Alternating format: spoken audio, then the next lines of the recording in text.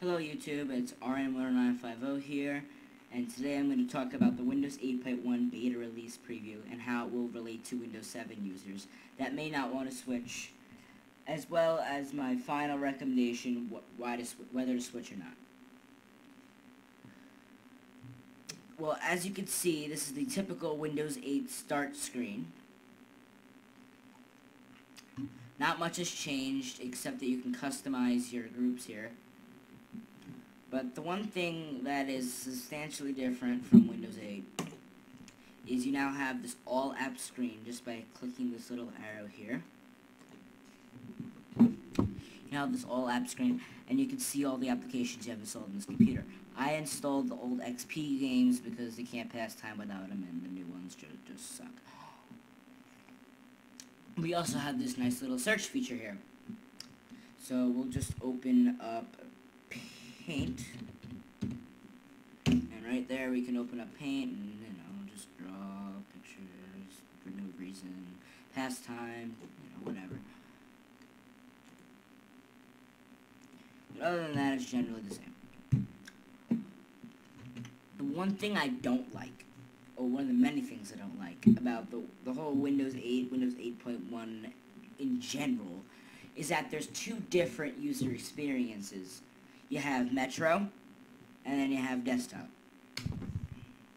And it, they will they will put you they will just plop you out of one and stick you in the other for no apparent reason, just to do it. I mean, the biggest example is PDF Reader. I'm currently in desktop, but if I open this PDF file, blank.pdf, it switches me to Metro. And I think from a user experience standpoint, that is very, very unnerving. Because if you're in the desktop, you generally want to stay on the desktop, and most people who used Windows before and are now using Windows 8 hate Metro with a passion.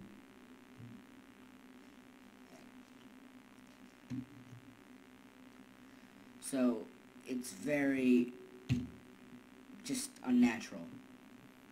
But now I'm going to show you guys how to make Windows 8 look like Windows 7. The first essential thing you must do is install the start menu. Without the start menu, you don't have any. It's pointless. That's why Windows 8 is pointless. So I'm going to put the start menu back through a program using Classic Shell. program called Classic Shell.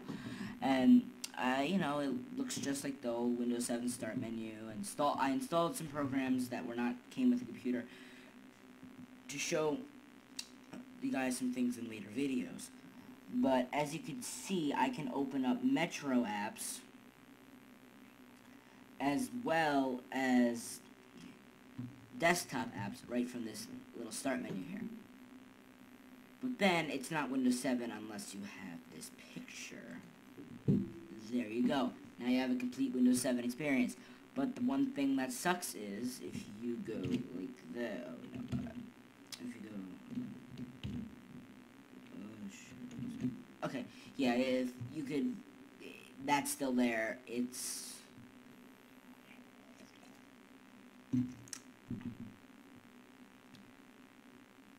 It's still gonna haunt you, haunt you in your nightmares.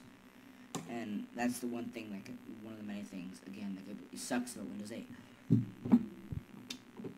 But, if we go into the Start menu and go to the C drive, which is... Uh, I also don't like how they renamed computer this PC. I mean, I understand my computer to computer, but this PC is completely different. Now we go into the C drive and then the Windows folder. It's everything is very locked down in Windows 8. It, it's I call it Microsoft's Fort Knox. To be honest with you, it, it's it's prison. For, from the developer standpoint, you can't do anything in this folder. I installed tons of command prompt tricks to get to get where I am to be able to access all the system folders. But a vanilla Windows 8 installation is it's a nightmare. And another thing I really don't like about Windows 8, again, there's many of them, is you can't customize the themes. In Windows XP, Vista 7, 98, 95, Millennium, pretty much everything before here, you are able to change the appearance. Here you have one, two, you have 16 different colors. And it's essentially Windows 1.0. You, you only have X amount of colors, and that's it. And the, the look, the, even the they got rid of the classic theme. I mean, that's that helped my performance ridiculously in the uh, Windows 7. Why'd they get rid of classic? I think that's pointless. And they got rid of the whole Aero thing. Now it's it's it's flat. Everything is flat. It's like Microsoft took an iron and ironed the entire operating system down. The only texture I have right now in the desktop user interface is the third-party start menu.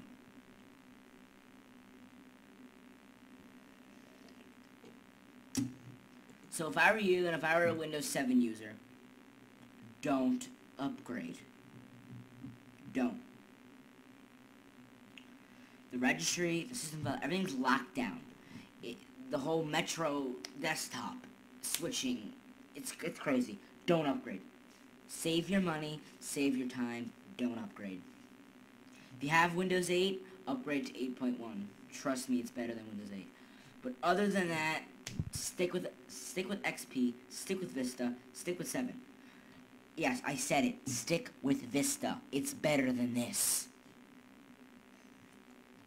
In fact, as far as I care, Windows 98, Windows 2000 will do better than this. This is rn10950 signing off.